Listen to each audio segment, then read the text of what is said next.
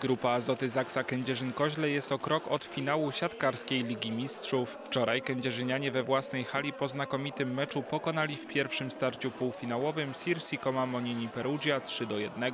Ekipa Tłumasa Samelwło przegrała tylko w drugiej odsłonie na przewagi 24 do 26.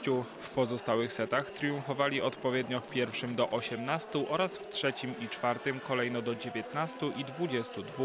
Bohaterem spotkania i zdobywcą nagrody MVP został przyjmujący Zaksy Bartosz Bednosz, który zanotował aż 23 punkty. Wykorzystaliśmy świetnie atut własnej hali dzięki, dzięki dobrej zagrywce. Zagrywamy na tej hali bardzo dobrze, dzięki temu odrzucamy przeciwników od siatki, łatwiej gra się w bloku i w obronie i to, to dzisiaj było widać. Natomiast przeciwnicy wiele zagrywek zepsuli, próbując ryzykować i to dało nam trochę oddechu. Nie byłem w domu przez 6 miesięcy, więc e, to pierwszy raz od momentu wyjazdu, kiedy mogłem wrócić do domu, więc bardzo się cieszę. Emocje na pewno będą e, dwustronne, bo przegraliśmy spotkanie. Myślę, że nie zaprezentowaliśmy się w żadnym z elementów dobrze w tym spotkaniu. E, Zaksa nas zdominowała. Aby awansować do finału Ligi Mistrzów, kędzierzynianie potrzebują minimum dwóch wygranych setów w meczu rewanżowym w Perugii zaplanowanym na 6 kwietnia. W drugim półfinale Jastrzębski Węgiel pokonał na wyjeździe również 3 do 1 Halbank Ankara. Rewanż 5 kwietnia w Jastrzębiu Zdroju.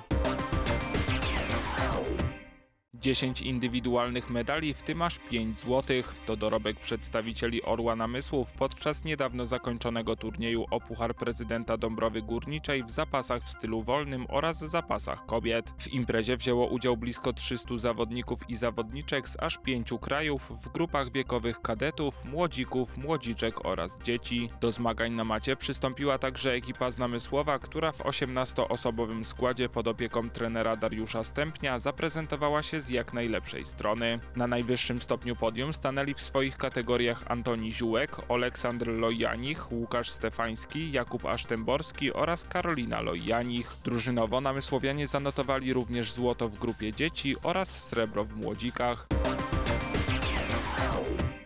Za nami Ellen Pro Cup, czyli turniej piłki nożnej dla zawodników z rocznika 2012 i młodszych, który odbył się w Głuchołazach. W imprezie wzięło udział 8 drużyn, w tym organizator wydarzenia, czyli miejscowy UKS Hat-Trick. Fajna rywalizacja na fajnym poziomie.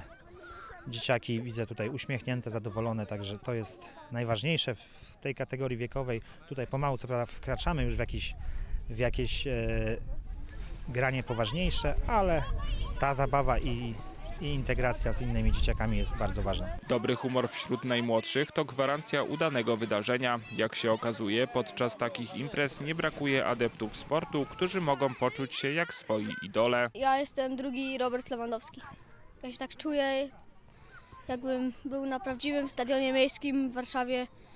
No, czuję się bardzo pewnie. Podczas turnieju doszło również do oficjalnego przekazania certyfikatu PZPN dla miejscowego klubu, które jest wyjątkowym odznaczeniem dla szkółek piłkarskich. Każda szkółka w, w Polsce prowadzona e, zgłasza e, taki wniosek do, do PZPN-u i później e, ten wniosek jest weryfikowany i e, taki certyfikat zostaje e, właśnie nadany i dzisiaj został nadany dla Hartik Uchoładzy. On świadczy o jakości pr- e, prowadzonej pracy e, z dziećmi, z młodzieżą. Najlepiej w całym turnieju zaprezentowali się zawodnicy MKS-u Fanbal którzy w finale pokonali Akademię Piłkarską Gol z Kamieńca Ząbkowickiego. Natomiast gospodarze zajęli miejsce trzecie, wygrywając w małym finale po remisie 2 do 2 i rzutach karnych z zespołem Polonii Nysa.